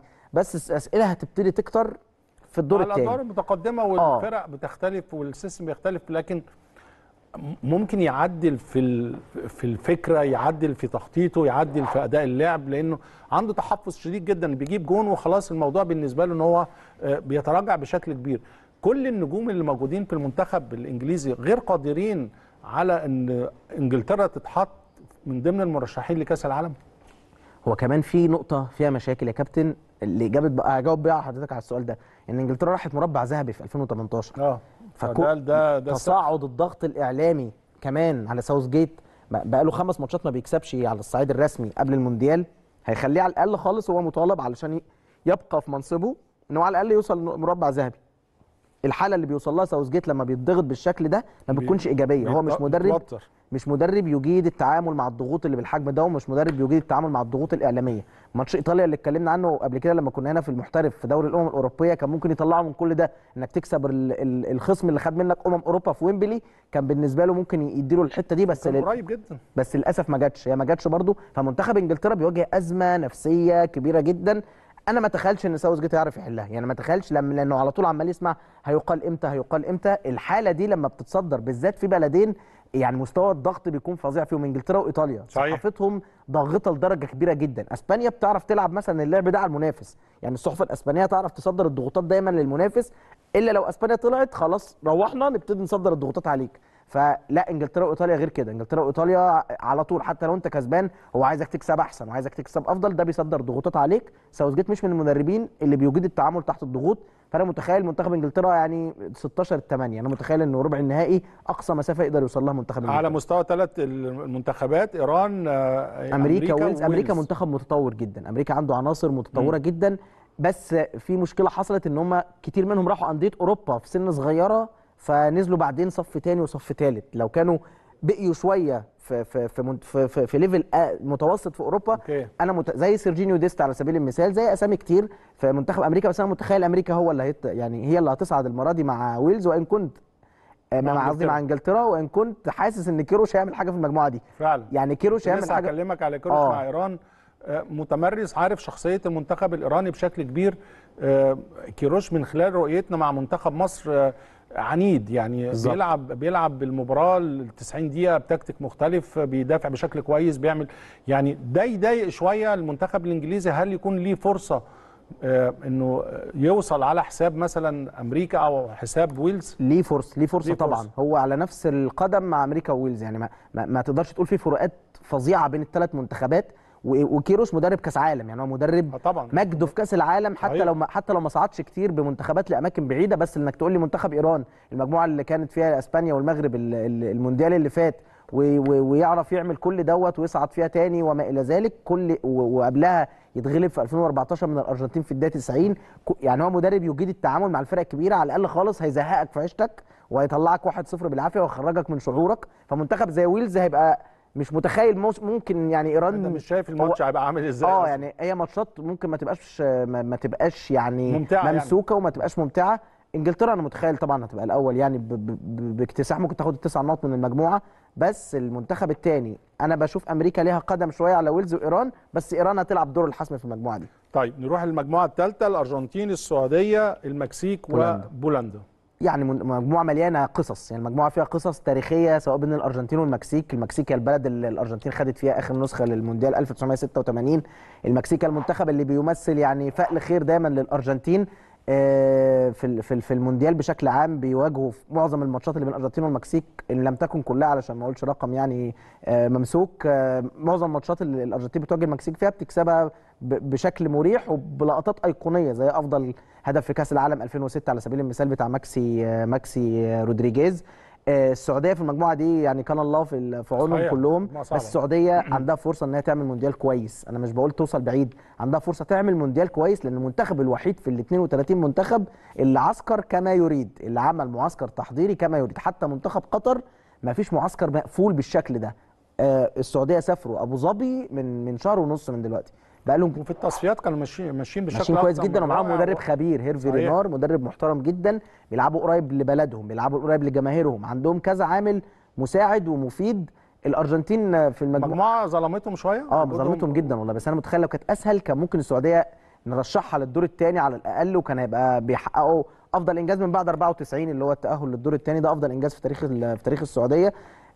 الأرجنتين في رقم بسيط كده ممكن نقوله أي لا يعني لما بيبقى نجم آه، انتقل حديثا لباريس سان جيرمان نجم كبير راح باريس سان جيرمان وبعدها بسنة يبقى كأس العالم غالبا بياخد كأس العالم. الله. فرونالدينيو رونالدينيو راح باريس سان جيرمان 2001 خد كأس العالم 2002 امبابي راح كأس العالم 2007 راح باريس سان جيرمان 2017 خد كأس العالم 2018 ميسي راح كأس العالم بس كده، أنا مش 21 عايز أكتر من كده. آه يعني. اقفل الحلقة على كده. فدي مفارقات طبعاً مفارقات بسيطة وطبعا الأرجنتين أنا شايف إنها من المرشحين مرشحين. الأوائل للقب بغض النظر عن ميولاتنا أو عن ميول أنا كواحد بشجع برشلونة بس آه آه لا الأرجنتين عندها منتخب لأول مرة متماسك جدا كورة ومتماسك جدا في غرفة الملابس وعنده استعداد يعني يعمل أي حاجة علشان ميسي ياخد البطولة دي. البطولة دي كلها بتهدى لميسي. حتى المدرب يعني داخل في منظومة إنه عايز يخدم ميسي. كل الناس عايزة تخدم ميسي بالبطولة دي. ودي الحالة اللي ميسي افتقدها طول 13 أو 14 سنة من التمثيل الأرجنتين. دايما معاه نجوم مش عاي... مش نجوم كبيرة على مستوى الملعب كبار جدا بس ده ما بيبقاش كفاية علشان ناخد بطولة. صحيح. هي دي النقطة. لما لا لما جمع 11 نجم كبار قوي واقعد أقول لهم ينزلوا اكسبوا لي مش غالبا مش هيكسبوا. كل النماذج اللي في التاريخ كان لازم يبقى عندك خمس ست لعيبة تقال بس يعني روحهم أكتر من من مهاراتهم ولاعيبة جامدة طبعا موجودة تانية. ده التوليفة اللي تديك مونديال أو تخليك تلعب بطولة مجمعة. بالشكل الأمثل. أنا بتفق معاك المنتخب الأرجنتيني مرشح بقوة زي ما قال أحمد كل العناصر وكل ال- التأهيل على المستوى البدني والفني والجماهيري وكل حاجة يعني بتزق المنتخب الأرجنتيني للحصول على هذه الكأس. لكن كمان معانا بعد الفاصل محمد الباز عبر زوم يقول لنا كمان رؤيته ورؤية النقاد والشارع الألماني في منتخب ألمانيا. هل منتخب ألمانيا بعد يعني الحصول على كأس العالم 2014 ثم يليها الخروج المبكر في 2018 في روسيا هل ستعود ألمانيا لمنصات التتويج في قطر 2022 هنعرف مع محمد الباز بعد الفاصل. أهلا بحضراتكم مرة تانية. أحمد من خلال وإحنا بنشوف الجرافيك دوت تاني غياب المنتخب الإيطالي لو كان تواجد المنتخب الإيطالي بالحالة الموجود فيها كان هيعمل حاجة في كأس العالم القادمة؟ بالظبط أنا متأكد يعني متأكد إن إيطاليا يعني يا بتيجي تعمل حاجة قوي يعني توصل نص نهائي نهائي وتكسب يا إما بتطلع من الدور الأول وبتبقى مفاجأة الموضوع. إيطاليا ما عندهاش حتة في النص يعني إيطاليا يا إما بتبقى من أقصى الشمال لأقصى اليمين زي ما بيقولوا حتى مثلا بتذكر 82 مثلا باولو روسي كان طالع بعيدة جدا ما حدش بيرشحها أصلا إنها تاخد المونديال في البطولة دي تقريبا اتعادلوا الثلاث مباريات بتوع عشان قانون جديد قانون- آه، مستحدث بالظبط. بين التوالت وما إلى التوالت ووقعوا في البرازيل كان أقوى منتخب ساعتها اللي هو البرازيل 82 ده واحد من أقوى المنتخبات في تاريخ كرة القدم صحيح. كلها برازيل 82 يكسبوهم 3 2 في ماتش لحد دلوقتي الإيطاليين مسمينه نجاة الرب يعني بيقول لك إن ده النج... إن إحنا ربنا نجاونا بس كان. عندهم باولو روسي قبل البطولة ب... ب... بأيام كان محبوس يعني أجواء يعني غير طبيعية بس إيطاليا دايما بتكون رقم فارق في المجموعة بتاعتها أو في في البطولات المجمعة بشكل عام. طيب إحنا معانا الباز يا جماعة؟ معانا الباز؟ طيب هن كمان يمكن أحمد أحمد كان رشح المنتخب الأرجنتيني لكن كمان معانا محمد الباز وأنا عارف محمد الباز عاش كتير جدا جدا في ألمانيا ومتحمس جدا للمنتخب الألماني. آه، معانا عبر زوم محمد مساء الخير عليك. مساء الخير كابتن هاني. مساء الخير على حضرتك وعلى أحمد مجدي. أهلا وسهلا. أنت في ألمانيا دلوقتي يا. محمد؟ في هامبورغ yes. هامبورغ حلو. كنا بنتكلم طبعا على كأس العالم وطبعا يعني آه، المنتخبات وبنتكلم على المرشحين. عايز أعرف منك آه، الأجواء عندك إيه؟ ال ال ال بعد طبعا آه، آه، القائمه اللي خرجت وهل في ردود أفعال بالنسبة للقائمه هل غياب بعض النجوم في آه، انتقادات على المدير الفني هانس فليك؟ شايف عندك الأجواء إيه لاستعدادات لكأس العالم 2022 بالنسبة لألمانيا؟ طيب مبدئيا عايز أجاوب أحمد كان بيتكلم دلوقتي على الأرجنتين ويعني عايز أقول له ان النهارده برضه في الصحف الارجنتينيه كان في كلام كتير جدا على ان هم عايزين يقابلوا المنتخب الالماني علشان ياخدوا بالصقر في مباراه مش فاهمين حاجة. 2014 النهائي. مش فاهمين مش فاهمين. بيقول لك مش فاهمين حاجة. فعايز أقول فعايز أقول ان ان إن ماريو آه، آه، جوتزه رجع تاني. آه. يعني موجود النهارده في القائمة وده صاحب الهدف الشهير 2014 ويعني كانت مباراة عظيمة جدا. فبرجوع لسؤال حضرتك كابتن هاني طبعا اولا القائمة عليها آه، يعني رضا بشكل كبير جدا. الوقوف كان عند ثلاث لاعبين يعني أبرزهم كان هوملز مدافع دورتموند. كان الصحافة كلها النهارده اتكلمت عنه حتى في المؤتمر الصحفي. طبعا هانز فليك للتشكيلة. بدأت المناقشة من الصحفيين والإعلام. طب ليه هوملز ما كانش في ماتس هوملز مدافع دورتموند ليه ما خدتوش؟ يعني راجل في ال top form آه، قايم بدور كبير جدا آه، المنتخب الالماني يعني عنده بعض المشاكل الدفاعية وخلاص يعني وصلنا. يبقى عندنا مدافع جنب روديجر طبعا قائد ال- الكتيبة الدفاعية للمنتخب الألماني وريال مدريد. آه، فكان الكلام قال لا هو هولمز بالنسبة لنا لاعب طبعا كبير وأنا كلمته شخصي بشكل شخصي في التليفون قبل إعلان التشكيلة ويعني أنا طلبت منه إن هو يواصل طبعا في الأداء ولكن للأسف أنا يعني مضطر إن أنا ألعب بتشكيلة معينة بعناصر معينة تخدم أو تخدم ال- ال- ال- التوليفة وطريقة اللعب بتاعته فده كان من أهم العناصر اللي كان عليه النهارده سبوت وكان في حديث كتير عليه. في لاعب تاني اسمه آه، فلوريان فيرتز ده عنده 19 سنة ده طبعا آه، لاعب نص ملعب آه، باير ليفركوزن كابتن هاني. فيرتز برضو كان من الكلام برضو في انتقادات. يعني هانز فليك ليه ما خدش فيرتز؟ ولاعب صغير 19 سنة برضه كان فيرتز عائد من إصابة لسه بيتعافى منها في المباريات الأخيرة فلعدم الاستعدادية أو إن هو مش كامل بشكل يعني واضح من الناحية الفنية لهانز فليك فتم استبعاده ولكن طبعا هانز فليك زي ما إحنا عارفين بيعمل التوليفه ما بين عنصر الشباب وعنصر الخبرة عنده أربع لاعبين نقدر نقول يعني آه، موكوكو يعني يوسفا موكوكو في حلقة من الحلقات اتكلمنا مع حضرتك يعني صحيح. موكوكو المهاجم دورتموند وقلنا إن ده لاعب بارز وهنشوفه في الفترة القادمة. تم طبعا استدعائه في تشكيلة منتخب ألمانيا. اللاعب ده عنده 17 سنة. يعني مهاجم وهداف بروسيا آه، دورتموند لهذا العام. موكوكو 17 سنة. عندنا جمال موزيالا 19 سنة. طبعا اللاعب الكبير بتاع بايرن ميونخ. عندنا طبعا كريم اديمي كريم اديمي ده لاعب مهاجم أيضا لبروسيا دورتموند. عنده 20 سنة. وتم ضم آه، كوتشاب. كوتشاب ده المدافع ال center back يا كابتن هاني بتاع ساوثهامبتون في ال Premier League. لاعب ده عنده 20 سنة. كلها يعني اعمار كلها أعمار صغيرة يا محمد ويمكن آه، كنت بكلم أحمد في الموضوع دوت وأحمد كنت بتكلمني عن في مشكلة في الدفاع. آه، بتقول لي منتخب ألمانيا منتخب قوي ولكن عنده مشكلة في الدفاع. لو عندك أي أسئلة للباس بالنسبة للجزئية دي يعني آه مساء الفل يا؟ باز. عامل إيه؟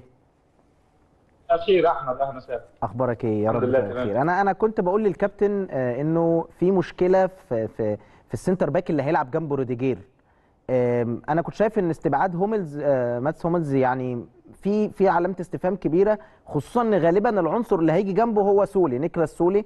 أنا بحس إن زوله عنده مشكلة كبيرة يعني في في, في ال level اللي هيلعب فيه اللي هو بتاع بتاع كأس العالم أو قدام خصوم كأس العالم. فانت إلى اي مدى الأول رصدت يعني الصحافة الألمانية قلقانه مثلا من مشكلة في قلوب الدفاع أو على مستوى خط الدفاع بشكل كامل مع مع اتجاه فليك إنه يجيب عناصر شابة كتير وانت إيه رأيك الشخصي في الموضوع ده؟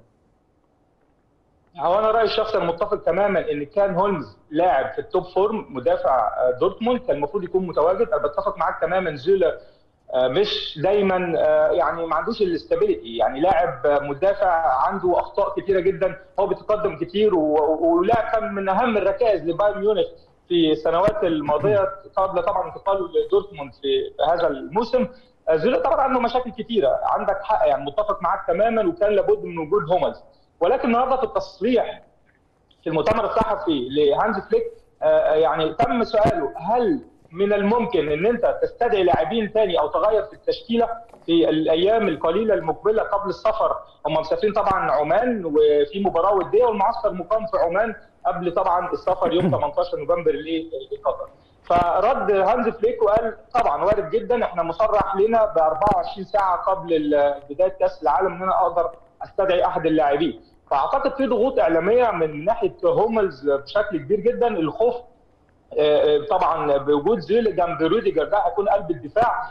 أنا عايز أقول لك إن كوتشاب كوتشاب المدافع بتاع ساوثهامبتون ده لاعب طبعا زي ما قلنا 20 سنة بس أعتقد هيكون ليه أدوار كبيرة جدا. من وجهة نظري إن هو هيبدأ دايما بزوله وهيبدأ بروديجر في آه، قلب الدفاع وطبعا هيعتمد طبعا على ال- الظهير الأيمن والأيسر ال- دايما متعارف عليه دايما معروف آه، بيلعب هوفمان في ناحية اليمين. أو بيلعب طبعا براوم من ناحية الشمال. دايما بيعتمد على هوفمان كظهير آه، آه، طبعا back right بيتقدم وبيساعد طبعا لو كان هيلعب قدامه جنابري على سبيل المثال. فأعتقد هانز فليك بيعرف يدور اللاعبين وهو واثق تماما بالمنظومة الدفاعية مع الأظهرة اللي تم اختيارها. طيب محمد اتكلمت على الشكل الدفاعي قبل طبعا ما ننهي معاك عايزين كمان على مستوى الهجوم على مستوى رجوع جوتسا بعد غياب آه، يعني امتد لخمس سنوات عن المنتخب الألماني كمان.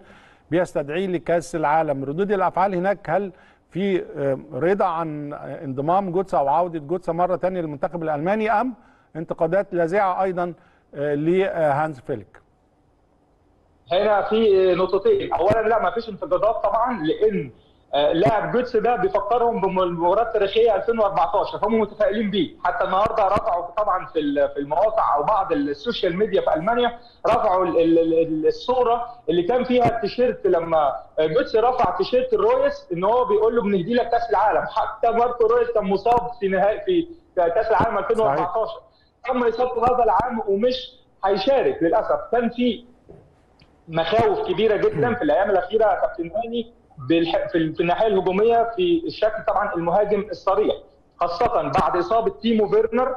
تيمو فيرنر طبعا اتصاب في ال ال ال الأيام القليلة الماضية. آه، إصابة ماركو رويس. كان في لاعب مستبشرين بيه خير اسمه لوكاس نيميشا. لوكاس نيميشا ده طبعا آه، مهاجم فولسبورغ. شفنا المباراة الأخيرة فولسبورغ. فريق عمر مرموش أمام. دورتموند. وطبعا لوكاس نيميشا أحرز الهدف الثاني يعني الرصاصة اللي قتل بيها دورتموند وفاز بعد إحرازه الهدف الثاني تم اصابته لوكاس نيميشا ف- فأصبح في مخاوف كبيرة جدا من الناحية الهجومية. ما عندكش مهاجم صريح. ده عمل إيه هانز فليك؟ زي ما قلنا ضم آه، آه، موكوكو يوسف موكوكو اللي هو 17 سنة ضم آه، كريم اديمي معاه طبعا كتيبة يعني نارية خلفه. يعني لو نتكلم على بايرن ميونخ وزي ما قلنا هو قوام بايرن ميونخ والإفاقة اللي بايرن ميونخ حاليا قبل ما نتكلم على بايرن محمد خلينا طالما أنت موجود هناك وكان شيء مهم كمان لمنتخب السنغال. بنتكلم كل الناس بتتكلم على إصابة ساديو ماني. الأجواء عندك إيه؟ والتقارير الطبية اللي خارجة من البايرن بتقول إيه؟ هل إصابة تستدعي غياب كامل عن المونديال؟ هل هي إصابة آه، لمدة أيام أو أسابيع قليلة؟ قول لنا برضو آه، موقف ساديو ماني مع منتخب السنغال هيكون إزاي؟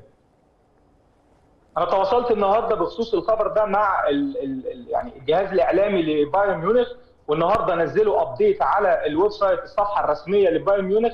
كل اللي ذكروا فيه بخصوص ساديو ماني إن هو هيغيب عن المباراة القادمة مب- مباراة شالكة يوم السبت القادم وإن في هناك فحوصات ما زالت مستمرة وإن هم على تواصل مع الجهاز الطبي للمنتخب السنغالي ولم يعلنوا بشكل رسمي إن هو قد يغيب عن كأس العالم. الكلام كتير في الصحف إن هو قد يشارك ولكن ممكن ما يشاركش في أول مباراة. ولكن هو هيلتحق بالتشكيله طبعا وممكن يسافر عادي ولكن من المحتمل الا يلحق أول مباراة أو ثاني مباراة ممكن ما يلحقش أول مباراتين. ولكن رسميا من موقع آه، بايرن ميونخ والجهاز الإعلامي النهارده صرحوا بكلام واضح وصريح أنه سوف يغيب فقط عن المباراة القادمة اللي هو الجولة الأخيرة اللي هي قبل كاس العالم يوم السبت القادم. محمد آه، آه، بنشكرك. شكرا جزيلا يا محمد. شكرا جزيلا على وجودك معانا من هامبورج وإن شاء الله يعني نشوفك لما ترجع بالسلامة. شكرا جزيلا محمد الباز عبر زوم من هامبورج آه، كان معانا على شاشة قناة النادي الأهلي. زي ما أنت قلت يعني الأمور بالنسبة لساديو ماني ما بين جزئين الجزء الأولاني هل يلحق المباراة الأولى الثانية الثالثة ولكن وجوده مهم جدا جدا لمنتخب السنغال. طيب نتكلم على المجموعة الثالثة أو الرابعة لأن إحنا وصلنا للمجموعة الرابعة. لا عايزين ناخد مجموعة البرازيل صربيا سويسرا الكاميرون. برضو مجموعة قوية جدا الأسماء فيها وخاصة المنتخب السويسري عامل شكل مميز جدا جدا مع مراد ياكين شايف المجموعة دي إزاي من وجهة نظرك الفنية ومين اللي هيصعد منهم؟ برضه شايف البرازيل يعني فرق عنهم كلهم. صربيا عندها أسماء كبيرة جدا يا كابتن آه، على مستوى القارة الأوروبية. صربيا من أكثر الدول المصدرة للمحترفين على مستوى العالم. ودي أرقام آه، يعني لافتة تقول لك المستوى التطور الصربي واصل لفين ولكن سويسرا أنا متخيل إن هي اللي هتصاحب ال- البرازيل للدور الثاني وإن كانت الكاميرون يعني بالنسبة لي محل شك أنا مش قادر أقف على مستوى حقيقي المنتخب الكاميرون. هل هيقدر؟ العكس ما أنا بنشوف منتخب الكاميرون بنطلع بنشوف آه، تصريحات آه، يعني يقول لك إحنا رايحين عشان ناخد كأس العالم وهنقابل المغرب في النهائي و... هو لا صامويل ايتو شاحن الدنيا جامد أيوة. زيادة عن الداعي. حتى تصريحات فينسنت أبو بكر اللي مؤخرا تصريحات غير جدا. غير حكيمة. يعني أقصد إن هي تصريحات مش حكيمة ما تحطش على نفسك كل الضغط ده. وما تجيبش يعني هو ما أعرفش ليه جاب سيرة صلاح. يعني ما أعرفش إيه اللي جاب سيرة صلاح في الموضوع. أنا ما أعرفش يعني هو إيه اللي إيه اللي يستدعي صلاح؟ وانت بتتكلم عن كأس. عالم. إحنا لعيب يقول لك إحنا لعيبة أفارقة. ومش صعب نوصل للل level اللي هو وصل له. يعني أنا مش عارف إيه إيه إيه اللي كان ضروري في المسألة. ولكن هو صامويل إيتو شاحن الدنيا. بالنسبة لصامويل إيتو سون كمان اهو المدير آه. الفني لابس يعني ال- الزي الرسمي لقطر وجنبه طبعا صامويل إيتو اللي- كمان قال كذا مرة ورا بعض. هل هل التصريحات دي بتحط المنتخب الكاميروني تحت ضغط؟ هو عامل عملية تحفيز للعيبة وإحنا رايحين كأس العالم مش في رحلة وإحنا موجودين في قطر لغاية يوم 18 ديسمبر ميعاد النهائي وهنقابل في النهائي المغرب وهنكسب المغرب. هل هل ده بي- بيحط ضغوط أكتر على اللعيبة؟ آه، ما بيحطش شايف ضغوط إيه؟ على اللعيبة. بص يا كابتن آه خليني برضو بغض النظر عن اختلافي عن اللي حاصل ده بس أنا ب... أنا ده شيء ببص له لو أنا رئيس اتحاد أو أنا مشجع ورئيس الاتحاد بيعمل كده أنا هبقى مبسوط بالحالة المعنوية المشحونة دي كلها. آه بقى على الصعيد الفني تعالى نفككها هنلاقي إن في مشاكل إن اللي بتقوله ده غلط. بس أنا رحت كأس عالم لو خرجت من ثلاث ماتشات مغلوب ما حدش هيقول لي أنت طلعت ثلاث ماتشات مغلوب ليه؟ ولكن لو أنا حسست نفسي إن أنا أقدر أجاري الأوروبيين وده الشعور اللي مسيطر على صامويل إيتو كشخص. صامويل إيتو بيسيطر عليه كشخص من أيام ما كان لعيب ان هو مضطهد لأن أكتر لعيب تقريبا اتعرض للعنصرية في ملاعب أوروبا. فهو دايما عنده فكرة إن أنا أنا أفضل منهم وأنا ليه مش أفضل منهم؟ أنا ليه مش أحسن منهم؟ أنا ليه بيعاملوني إن أنا درجة أدنى؟ الحتة دي عندي إيتو من زمان فهو مكرس حياته وهو رئيس اتحاد صحيح. إن هو اولا يثبت تفوق الأفارقة جنوب الصحراء على الشمال أفارقة. دي نقطة. حب يفككها واتضح في المن... في في كأس أمم أفريقيا اللي فات قد إيه العاطفة دي شحناه. شفناها طبعا. ضد يعني الشمال افريقيا صحيح. الناحية الثانية ضد أوروبا دلوقتي. إحنا أنا مش أنا مش أقل من من فرق أوروبا وفرق أمريكا اللاتينية. لو أنا مواطن كاميروني هبص للشعور ده ب ب ب بإكبار وبتقدير ولكن فنيا ال- النقط دي مش دايما يعني مش دايما بتكون هي اللي, ماشية. ولكن الأفارقة يحبوا الروح دي عموما ودي دي النقط اللي بتكتب لهم تاريخ. لو الكاميرون عملت حاجة في المجموعة دي الناس هتنسب الفضل كله لتصريحات صامويل إيتو والنجومية صامويل إيتو. إنه زي رئيس اتحاد عارف يشحن اللعيبة. أنا بفتكر لما قبل مباراة مصر بيقول لهم إنها الحرب إنها الحرب. صحيح. ال- ال- الموضوع ده كله طريقة الشحن المعنوي اللي بيعمله صامويل إيتو ممكن هي دي وسيلة الضغط الكويسة اللي اللي هو شايفها للكاميرون. ولكن هل هتؤتي ثمارها ولا لأ ده اللي بننتظره المجموعة دي أنا متخيل متأهل منها برازيل وسويسرا يعني أنا متخيل البرازيل وسويسرا البرازيل وسويسرا. طبعا صربيا صربيا آه. كمان فرقة مش مش وحشة مش هينة. طبعا. وعندهم مهاجم بحجم ألكسندر متروفيتش دلوقتي من المرشحين لجائزة الهدا- ال- الحذاء الذهبي الأوروبي السنة دي ولكن آه، أنا شايف سويسرا متطورة جدا مع ياكين شايف إن إن شاكا واصل للمونديال بحاجة كويسة عمره ما وصلها تقريبا آه، في حياته. شايف إن. شاكيري شاكيري بيوصل لآخر مونديال تقريبا يقدر يلعبه. فأنا متخيل عندهم مهاجمين كتير آه، صغار السن وعندهم أكتر من عنصر. جاي من الدوري حتى المحلي وعندهم عناصر دلوقتي بقت بتلعب في أوروبا وعندهم دوري قوي ومستقر. أنا متخيل سويسرا قادرة ان هي توصل على الأقل خالص مع البرازيل للدور الثاني على مستوى منتخب البرازيل كان في صدمة لفيرمينيو عدم عدم ضمه للكتيبة أو للقائمة النهائية للبرازيل. شفت ده إزاي؟ في أكيد طبعا كل الناس بتتكلم إن المدير الفني للمنتخب البرازيلي عنده آه عنده يعني عنده ثروة قومية للعيبة كتير وكان عنده مشكلة في عملية اختيار القائمة المناسبة. هل من رأيك فيرمينيو كان يستحق التواجد في 100% كأس العالم؟ 100% أنا أنا شايف ده لعيب لو بيقدم أسوأ مستوياته هو بيقدمش أسوأ مستوياته أصلا. يعني هو من أكتر بالظبط. هو تاني على العكس كان ده, آه لا لا كان يفوق ممتاز جدا فايق جدا وعلى الصعيد الرقمي هو تقريبا مساهم في في في 10 اجوان أو 11 جون من, من أول انطلاق الموسم في الدوري ال- في الدوري ال- الإنجليزي و overall مساهم في 15 جون تقريبا في في الدوري أبطال أوروبا والدوري الإنجليزي. فهو ما بيمرش بأسوأ مست... مواسمه خالص. الاسماء اللي اللي هو طارحها أسماء تخلو بوضوح من رأس حربه صريح. هي دي بقى النقطة الإشكالية. الفنية بقى. آه، نقطة فنية في مشكلة. إن أنا لو رايح كأس عالم هاخد من كل اللعيبة حتى لو مش هلعبهم، يعني هاخد من كل اللي قدامي، هاخد راس حربة صريح واخد راس حربة زي فيرمينيو يعرف يتأخر لتحت صحيح. ولو مش عايز ألعب بيهم أقعدهم جنبي، بس مظبوط. يبقى عندي ده في كأس العالم، أنا لو منتخب زي البرازيل ما أخدش خمس أجنحة كلهم بيعملوا نفس المهام، يعني ما أخدش أبدا رافينيا وأنتوني، أنا ما أخدش الاثنين، أنا يا خدت ده يا خدت ده، بالنسبة لي يا خدت ده يا خدت ده، هم أنا كوبي بيست هم تقريبا طريقة آه لا, لا أنا بالظبط. ما ما أحبش أخد ده. أنا وجهة نظر أنا. أخدت نيمار وفينيسيوس جونيور لأن هما الاثنين آه ما ينفعش ما ينفعش أقعد حد من. الاثنين دلوقتي. بس أنا كنت محتاج عنصر شبيه قوي بجيسوس القديم قبل ما يروح أرسنال. عنصر راس حربة target man تلعب عليه ولو مش هلعبه قعدوا على الدكة. أنا فيرمينيو بالنسبة لي كان مثير للاستغراب قياسا لمارتينيلي. ما بقولش مارتينيلي مارتينيلي واحد من أفضل لاعبي العالم. في الوقت الراهن بالنسبة لي. أحمد أنت قلت لي يعني مارتينيلي أنا هشوف المدير الفني للمنتخب البرازيلي هيختاره ولا لأ بالتألق دوت مع نجوم. كبيرة جدا جدا. هيتم اختياره في كأس العالم ولا لأ؟ هيستفيد منه ولا لأ؟ لأن الأسماء كثيرة خاصة في آه، الأجنحة. يعني بنتكلم على ال- الأجنحة لل- للمنتخب البرازيلي. أنا أنا أنا مارتينيلي من من من, من أول مباراة في الدوري الإنجليزي ومتخيل إن مارتينيلي هيبقى ليه مكان في كأس العالم. بس لو هو هيلعبه في أي شيء غير ترج غير تسعة تسعة ده تسعة يبقى في مشكلة هتطرح لك في مسألة فيرمينيو. لا خلاص لو لو في ت... لو أنت مش هتلعب بيه تسعة لو هتلعبه على الجناح وهتقعده ثالث لنيمار وفينيسيوس جونيور يبقى يبقى المسألة ال- الهجومية دي عندك فيها مشكلة يا تيتي. هو تيتي بيلعب في آخر في آخر مونديال يعني ده آخر مونديال ليه هيسيب البرازيل بعدها أعلن ده رسمي. آه، هتواجه مشاكل كتيرة جدا بعدين الناس اللي, اللي هتاخد منتخب برازيلي لو ما توجش بكاس عالم. هتبقى هتطرح مسائل كتير إن إحنا بنتكلم في جيل متكامل صحيح. تماما.